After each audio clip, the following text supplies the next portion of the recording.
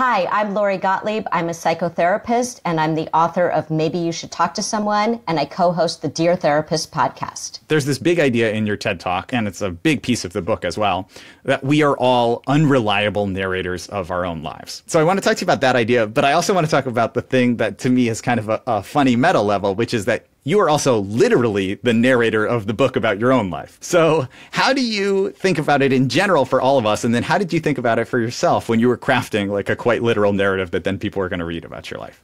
That's such a great question. Nobody has ever asked me about the part about my narrating the book and the unreliable narrator part of that. I think that we like to think that we're reliable narrators because we feel like I'm telling the objective version of what happened.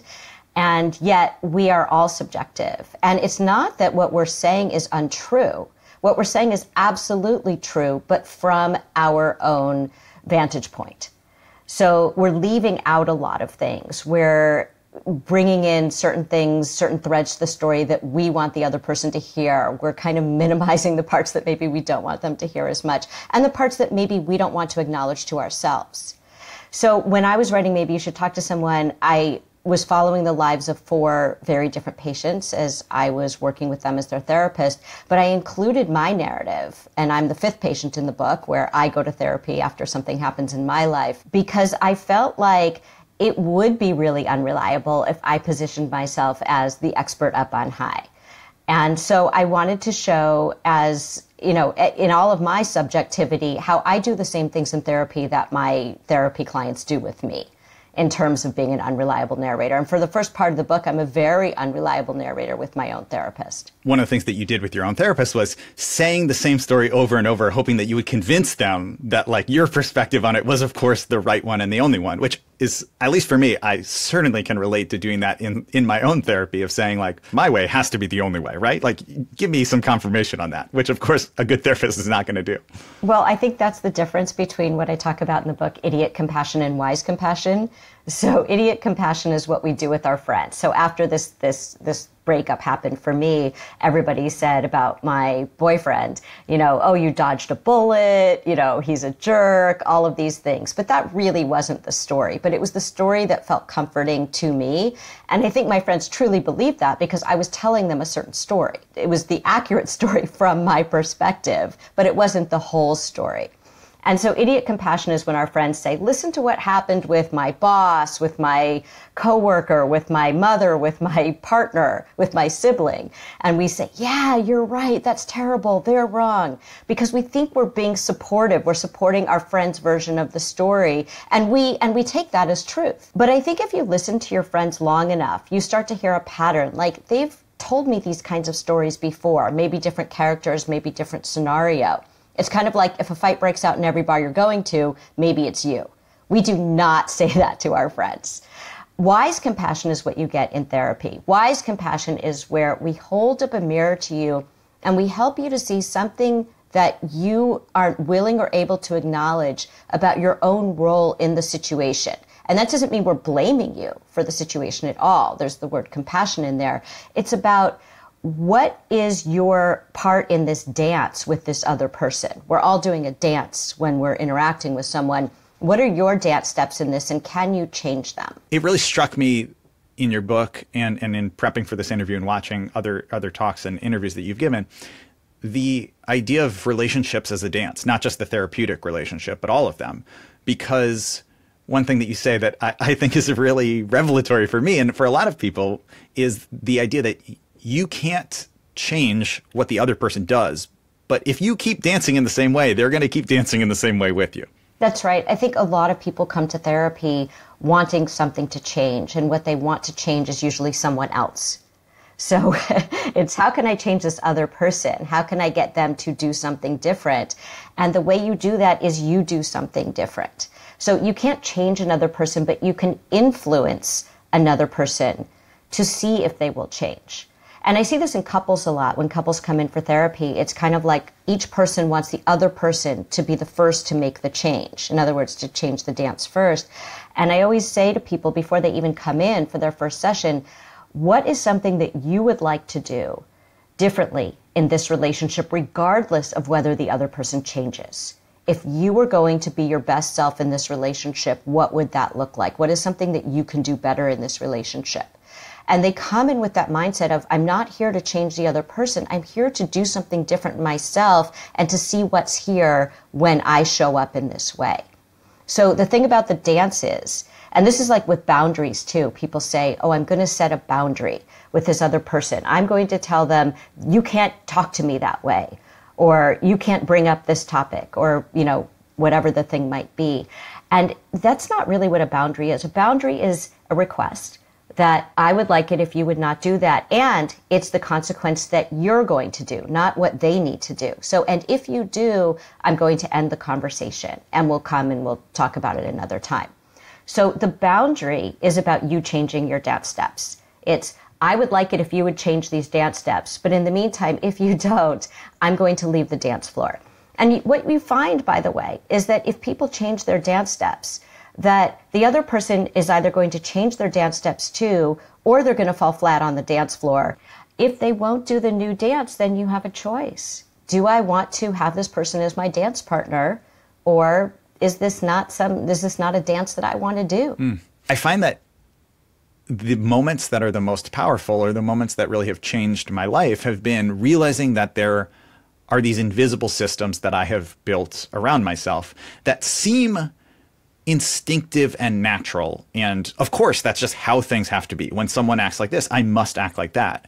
And to just get the tiniest bit of distance to see that actually that's something that I built, that's a choice that I'm making. And I don't necessarily have to make those choices. I don't have to dance in that way if it's not serving me. Just seeing that it is a possible change, even before I make it, has been uh, kind of a mind blowing revelation for me in, in therapy. Right. I think that we forget that we're all co creating a dynamic with a person, that it's not this person is bad and I am good. Um, this person is toxic. That's another thing that gets thrown around on social media a lot. And you know i'm the healthy one because if you're participating in an unhealthy dynamic you're co-creating that with the other person. I think a scene in the book that people talk about a lot is the moment when i'm in therapy and i'm feeling really trapped. And you know i feel like i don't have any choices. And my therapist says to me you know you remind me of this cartoon and it's of a prisoner shaking the bars desperately trying to get out but on the right and the left it's open no bars so the question is, why is it that sometimes we can't see that it's open? And why is it that even when we do see that it's open, we don't walk around those bars? Mm. And I think that a lot of that has to do with the idea that there is some comfort. It's, it's discomfort, but there's a way of abdicating responsibility for our own lives if we say the problem is someone else or something else. And if we walk around those bars with freedom, the freedom that we would then have comes responsibility. And now we're responsible for our lives. We can't blame our unhappiness, our stuckness, whatever it might be, on someone else. Mm. Now we know we have the freedom to change that. And if we don't, we only have ourselves to blame. Mm. You're not just obviously really talented uh, therapeutic practitioner, you're also a really talented writer and editor. And I know that you have spoken about how you see those as being complementary skills. In, in fact, in some ways, a similar skill. Yeah, I always love stories and the human condition. And I started first working in film development after college, and then I was an executive at NBC. And when I was at NBC, I was working on a show you may have heard of called ER. Um, I was not a writer on the show, I was an executive at the network. Our consultant on the show, who was an ER doc, kept saying to me, I think you like it better here than you like your day job. and it was because ER, of course, was this incredible show and the stories were, were so real. But they were also fiction. and when you're in an ER and you see these inflection points in people's lives, I was fascinated by that. And so I ended up going to medical school. I went up to Stanford and I started writing when I was in medical school. And I left to become a writer. And it was later that I came back and, and decided to become a therapist. But I think that they're all related. They're all about stories and the human condition. And I feel like as a therapist, when I'm sitting in the therapist chair, I almost feel like an editor, that people come in with their stories and they come in with these faulty narratives. And a lot of them are these narratives that we've carried around for so long that we don't even realize that we're holding them. These stories that someone else has told us about ourselves that were much more about the storyteller, the, the person who told us this when we were younger, than about us. But we interpreted it to be about us. So we took away these stories like, I'm unlovable, or nothing will ever work out for me, or I can't trust anyone. Um, you know, just the way you see the world. And you act out those stories every day in all of your interactions without being aware of it. So, one of the things I really do as an editor is to help people to edit their stories and make sure that they reflect their world in the present.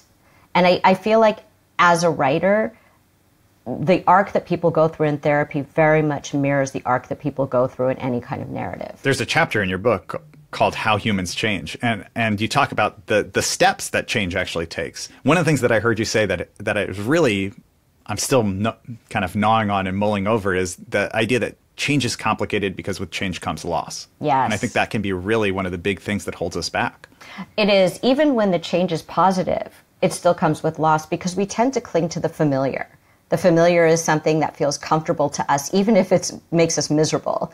It's still something that we know. If we haven't processed the ways that we've been hurt in the past, we tend to do this thing, it's, you know, this phrase repetition compulsion, where we try to master the situation uh, that we couldn't master when we were younger. This time I will win. But we don't know that going in. We meet someone and we think this person's really different from the person who hurt me. This person is not at all like my alcoholic parent, my parent with anger issues, my parent who was very withholding. And then you get into the relationship and it's like, uh oh, this feels really familiar. And the reason that change is so hard is because even though we're not happy in that situation, we know it. And humans don't do well with uncertainty. And the other thing about change is, you know, as you were saying in that How Humans Change chapter, is that there are stages of change you know, this is why New Year's resolutions fail so much, is because people don't realize that there are stages to change. And it starts with pre contemplation, where you don't even know you're thinking about making a change. Then contemplation, where you are wanting to make a change, but you're not ready to do it yet. And that's when people land in therapy. Then there's um, preparation, where you're actually taking steps to prepare to make the change. And then there's action, where you make the change. But that is not the last step. And so a lot of people, this is why people tend to fall off from change. The last step is actually maintenance. And maintenance is how do you maintain the change?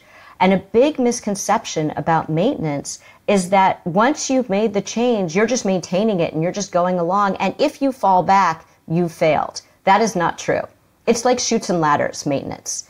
And what happens is until a habit becomes something that starts to feel familiar to you, going back to how we get comfort from familiarity, you're going to keep falling back. And so you need to have a lot of self compassion. So someone might say, Oh, I was going to break up with that person, but oh no, I called them and I got back together with them. And then you just say, Okay, but that was that day. And now you just get back on track. Or, oh, I was going to, you know, exercise and then I didn't do it. It's okay. So that happened that day. And I think that people think that if you have self compassion, that you're not holding yourself accountable, mm. which is just not true. And I just want to say that self flagellation does not work in the long term. It might work in the short term, but it does not work in the long term. It's interesting with maintenance as a form of change because I think that with some pretty dramatic forms of change, one that comes to mind immediately for me is sobriety. The maintenance piece I think feels really natural to people. The idea of like, I'm four years sober, I'm 30 days sober. The idea that it is an active thing. It's not just like you decided to be sober and that it's done, that it is something that needs to be maintained. But with other forms of, of change, people sometimes they don't give themselves kind of the pride that people feel in 10 years of sobriety if it's like 10 years of working to set healthy boundaries with family members you don't you go kind of like pat yourself on the back right and i think that's because people are we're so self-critical with with ourselves and we don't realize it. And what we say to ourselves isn't always kind or true or useful. You know, an example of this is I had this client and she was so self-critical and didn't realize it. And this could have been anybody because so many people are like this. I'm like this with myself. And I said to her, I want you to listen for this voice in your head and I want you to write down everything you say to yourself over the course of the week and come back next week and let's talk about it. And so she comes back the next week and she starts to read her list and she starts crying. And she said, I'm such a bully to myself. I had no idea.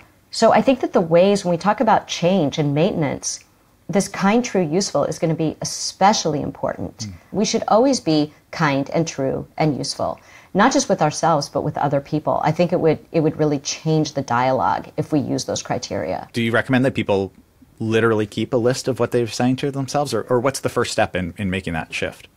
I think the first step is is yes, writing down what you say to yourself. And then and then looking at the why. You know, whose voice is that? Usually it's not your voice. We are not born that way. We are not born with that critical voice in our head. So usually it came from somewhere. It might be someone in your environment when you were growing up. It might be the culture. It could be the school system. Maybe you had a learning disability and people told you that you were not smart and that's just not true. So where were you getting these messages? Whose stories are they? Again, going back to getting rid of those faulty narratives and rewriting those. That's a lot of the work of, of I think, getting that voice in your head to be kind and true and useful. We've talked about some of the um, patients who you talk about in the book. There's there's four patient stories, and then your own as the fifth. One of the patients who I want to talk about is is John. He's he's really disrespectful. He's really rude to you, and that is a person who I think many people would kind of question and, and did question to you like why why do you take care of someone who is going to treat you badly even as the person who's trying to um, to provide care for him?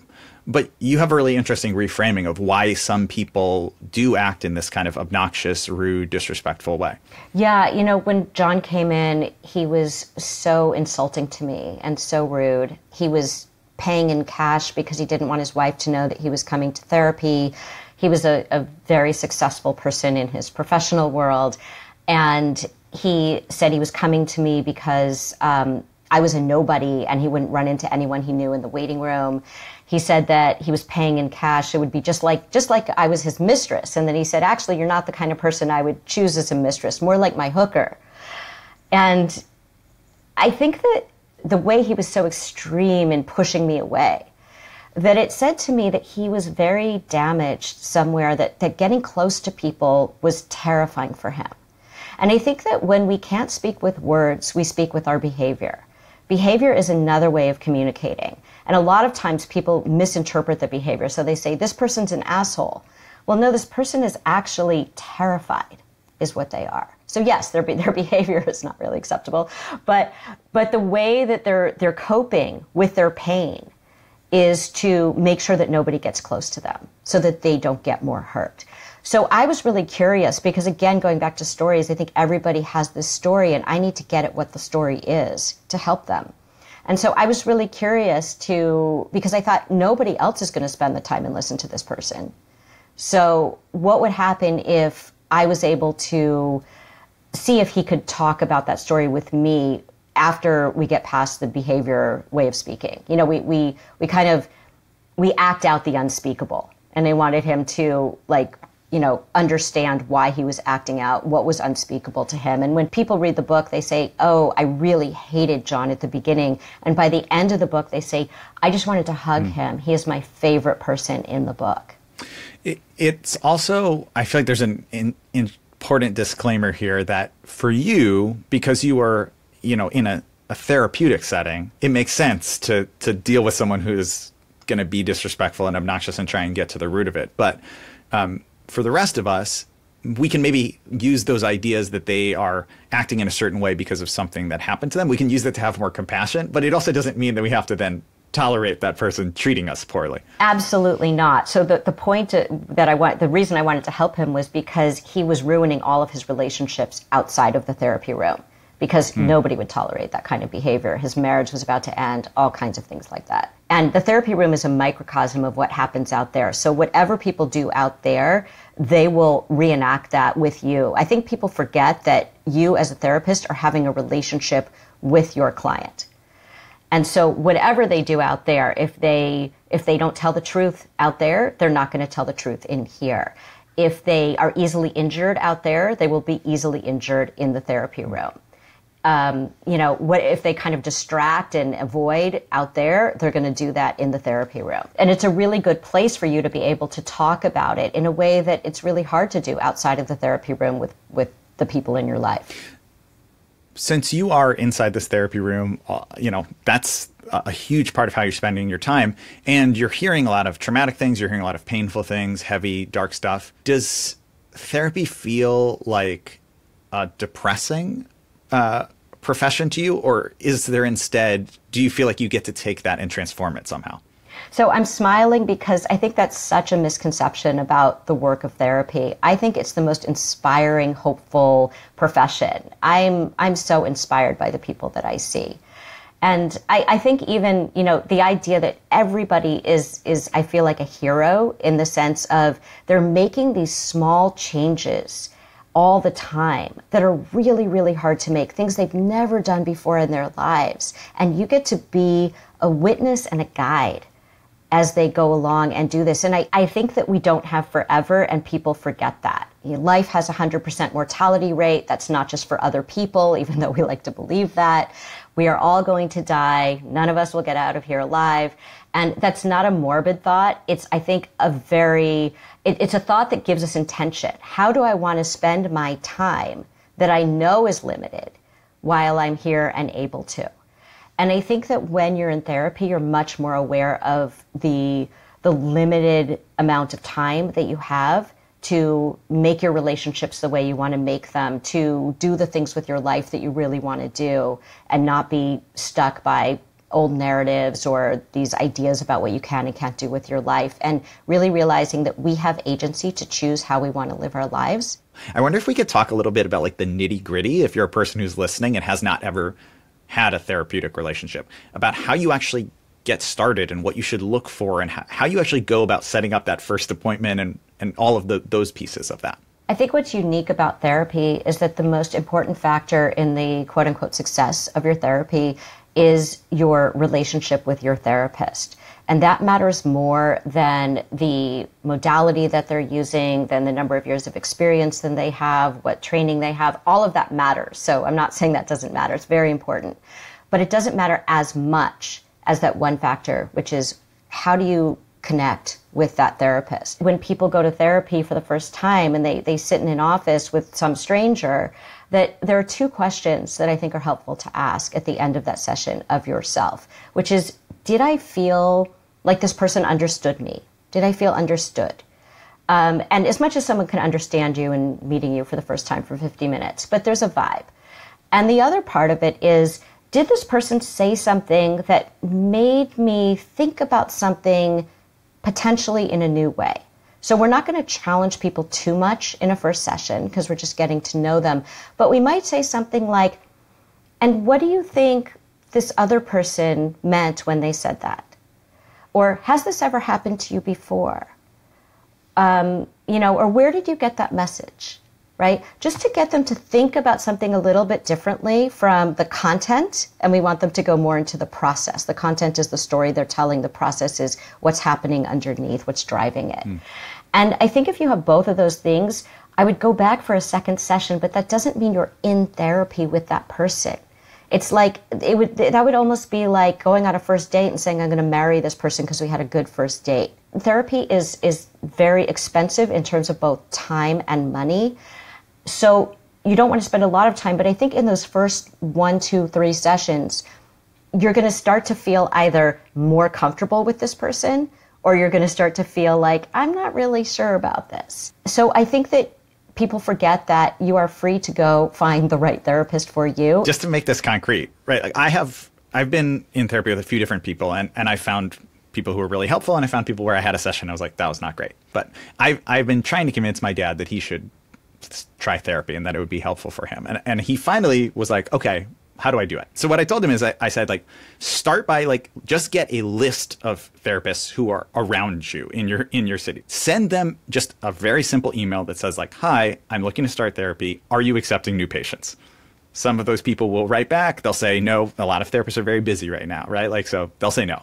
If you get a few people who say yes, then I told him I think that many people are open to this idea that you could ask for like a 5 to 10 minute or 15 minute phone call just to chat and say what you're kind of looking to work on and just hear their voice even because maybe you'll get like the immediate sense of it's not even worth paying for one session because i know that i don't like this person before you even get into it do you have something like for that first phone call or for even in the email when you reach out that you should be looking for? I really feel like you have to sit in the room with the person for 50 minutes to really feel like, huh, this is what it's going to be like. For example, when I called my therapist for the first yeah. time, he was almost said nothing hmm.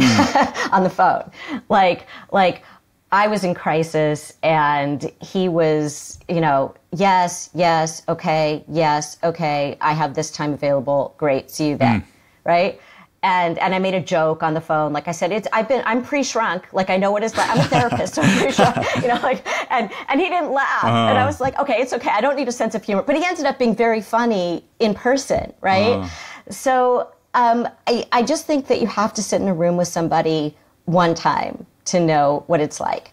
Um, and also, I just want to say something about men in therapy. I'm really glad that your dad is going because so many times men will come in and, you know, once you get to know them, they'll say, I've never told anyone this before. And they literally have not told a soul. And even if they have a, a great marriage or they have great family or great friends, they just haven't. Our culture has such stigma around men being vulnerable. And women will also come in and they'll say, you know, I've never told anyone this before, except for my mother, my sister, my best friend. So they've told maybe one, two, three people, but they feel like they haven't told anyone.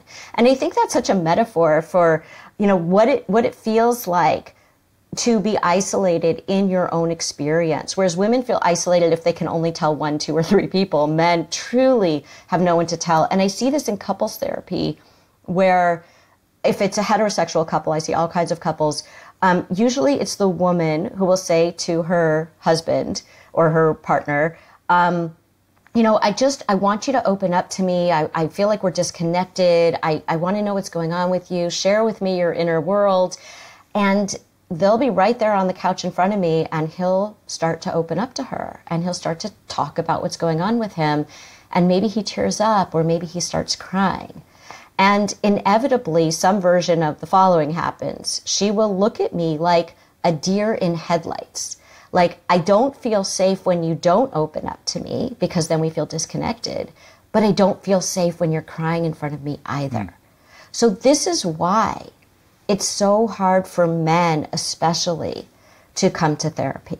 They need to challenge sort of the people out there who on the, intellectually want them to be open and vulnerable, but also have their own kind of societal bias against men being vulnerable. Okay, so uh, a question that I have then to to talk about this therapeutic relationship a little bit more, and starting one is. Okay, so two, two questions. One, a really quick one is: Should you tell the therapist when you first are meeting with them that you're seeing other therapists? Like, is it like when you go on a date and you're just like, by the way, I, we're not exclusive yet. I, am seeing other people. Should you actually say like, I, am evaluating therapists and I, I want to have a session with you, but I'm meeting with a couple other practitioners as well? A hundred percent. Is that a weird thing? No, it's not a weird thing. It's the first session, it's a consultation for both people. It's a consultation for the therapist to see is this someone that I think I can help? Is this someone where maybe their issue is something that's outside of my area of expertise? Or maybe I think there's someone who has more expertise in this area that I would like them to see. I think that that would be a better fit for them. Um, mm. And it's a it's a consultation for you coming in to see how again how do I feel with this person. Um, not just is this person validating my experience, but again, is this person going to challenge me? That's so important because I think there's this misconception that therapy is this thing where you go in every week, you download the problem of the week, and then you leave.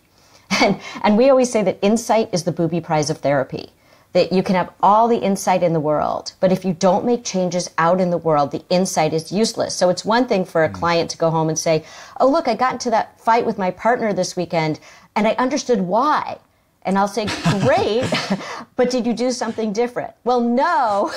so it's okay. So now you have the insight. Now, what are you going to do differently now that you understand why that happens in that way? One of the funny downsides of like the, for lack of a better term, like TikTok therapy is people being able to be like, and that's my toxic trait. And I don't do anything about it, but I'm aware that it's a bad thing that I do that's unhelpful in my life. And I just keep doing it. It's like, well, right. that's only the first, that's the insight piece. You got to do the action piece too. And I think that, that when you're with a good therapist, they're, they're going to make sure that you're addressing that.